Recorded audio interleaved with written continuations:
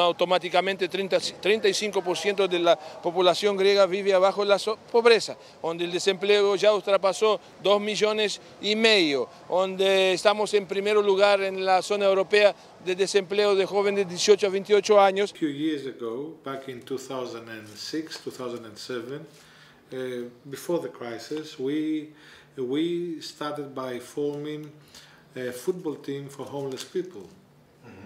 Okay, and that's, that's to use to use uh, football as a social tool to energize uh, people and to help them in the quest to be integrated. I was working for a long time in a big company uh, as a, a, supervisor, but I was fired, as a lot of people here in Greece.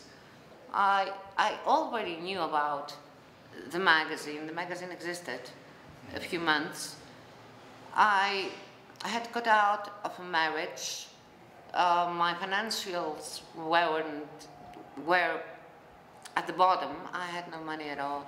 So I thought, okay, let's try. Entonces, si yo vendo 10 al día, tengo un sueldo de 15 euros garantizado para mí.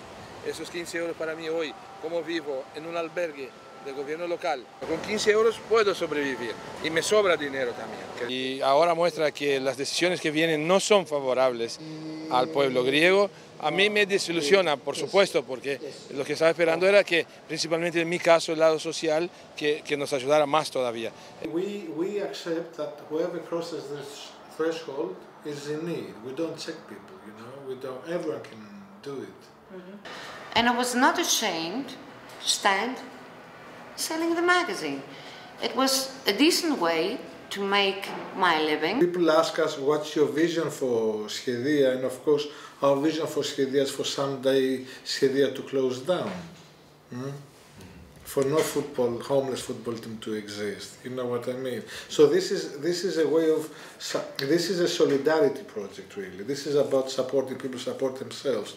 I don't I don't think I don't think they can make enough money to make a living out of it, but they can make enough money maybe to to live in dignity in the sense that they, won't have to be to beg